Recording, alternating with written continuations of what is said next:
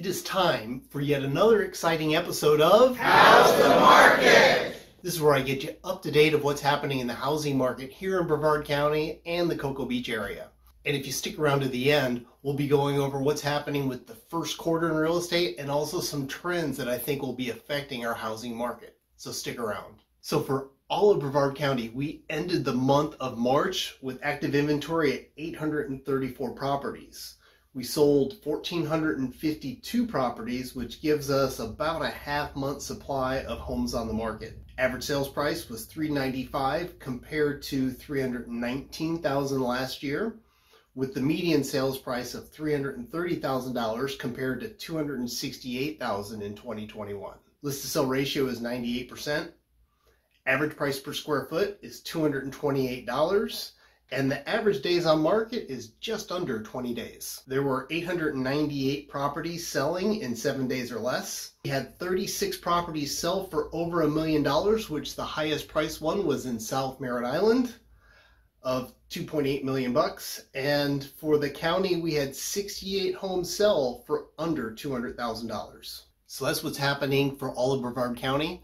Let's look at Cocoa Beach, starting with the condo market. Currently, we have 38 condos active for sale, ranging in price from 139,000 for a one bedroom at the Plaza up to 1.99 million at the Surf new construction in downtown Cocoa Beach. We sold 58 condos for March, ranging in price for 135,000 for a studio in Genie by the Sea in Cape Canaveral to over a million dollars for the Meridian just north of the pier. On Supply is at 0.65, so almost three weeks. Uh, average condo sales price was $369,000 versus 317,000 in 2021. Median sales price was 301,000 compared to 279,000 in 2021, and our average price per square foot was 309 bucks. Average days on market just over 16 days, and we had nine condos selling for under $200,000. Uh, the best selling complexes were tied with three each.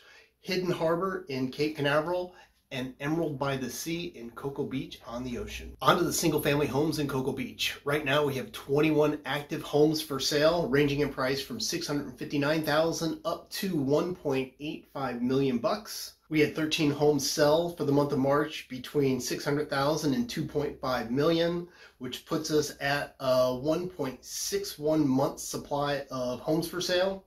Average sales price just over a million bucks compared to 760,000 in 2021. Median sales price of 680,000 compared to 695,000 in 2021. So that's a slight decrease in the median sales price. Average price per square foot, $436. Uh, average days on market, just over 23 days. We had zero homes sell for under $500,000 with three homes selling for over a million bucks. So those are the numbers for the month of March for our housing market for all of Brevard County and the Cocoa Beach area. Let's look at the first quarter and see what kind of trends are happening. Now, if you turn on the news or do a quick Google search, the headlines are screaming that we're about to be we're about to get into a market crash. I'm certainly not Nostradamus, but I do look at the MLS and study the numbers quite often, and here are some trends that I'm seeing with the first quarter. Let's first look at our active inventory. Compared to last year and even 2020, our active inventory is still exceptionally low. And until that number starts coming up, we should still be in a seller's market. Looking at the sales, actual closings that happened, sure, we've had a very strong first quarter in 2022, but we're behind 2021, yet ahead of where things were at in 2020. Looking at our month supply of property for sale for the county, we've been at or below a one month supply since February of last year. And what I mean by the month supply, uh, it, the month supply determines what kind of market that we're in.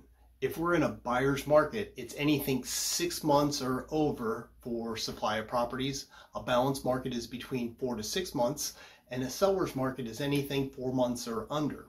So in order to see changes for that, we need to see less sales, with and or more homes and properties coming on the market. So let's say our sales drop to a thousand sales a month, which we haven't seen since 2013. our inventory would have to rise to over 4,000 in order for it to shift from the seller's market that we're in into a balanced market with the four to six month supply of inventory.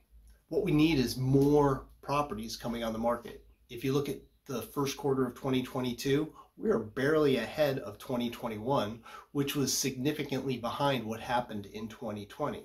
So why aren't we seeing more homes coming on the market? really with everything going on, you would think that it's a wonderful time, the perfect time for somebody to consider selling their property. But if they're living in their home and they need to move somewhere, a lot of sellers are wondering are they going to become homeless if they put their home on the market or are they going to rush into a purchase and settle for a property that doesn't quite match or replace the one that they're currently living in? Really, the best scenario for a seller is either a, a second home, a vacation home, or maybe it's a rental property that they're just not using. Another option would be for the seller to qualify for their mortgage to purchase their next property without having to sell the current home that they're in. A bridge loan could be an option for you too to pull some of the equity out of your current home in order to help you purchase the next property. And there's also new lending options coming up with companies like Ribbon or Knock to help you purchase the next property, same as cash, and then you sell your other home after you close on the purchase. But what's actually going to be changing our market, there's two things that I've been saying once they happen will definitely have an effect on our inventory. One is insurance rates will be going up, which could affect somebody's ability to purchase a home, and that's been happening for the last six to eight months here in Brevard County.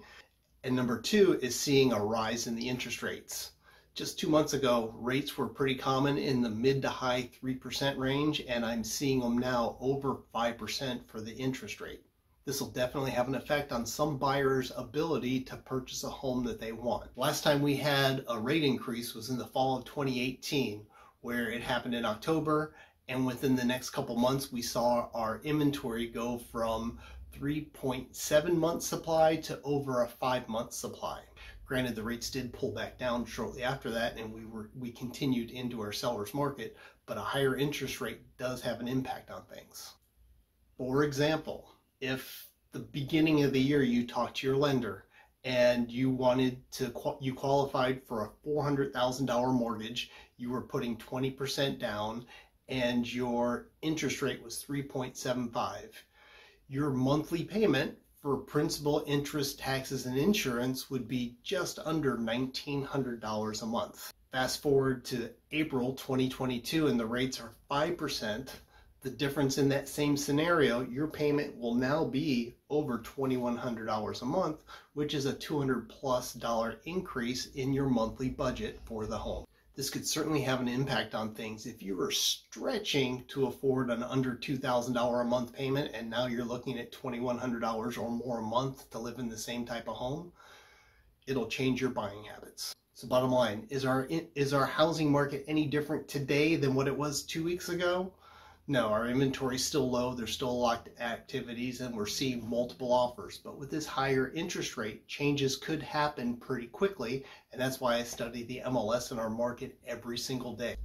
And if you have questions about what this means to you, whether you're considering buying or selling, that's what I'm here for. I love answering questions from folks just like you, and I get these questions just about every day. So you can either call me, you can text me, you can comment below. If you're on any of these social media sites, you can send me a direct message there. However you like to communicate, I am great with. And since you stuck around this long, you probably like what you're hearing. If you haven't done so already, you should definitely consider hitting that subscribe button. And if you like this video, I'm also queuing up two more videos for you to watch next. My name is Eric Larkin with Real Brokers here on the Space Coast. I appreciate you tuning in, and I'll see ya on the next show.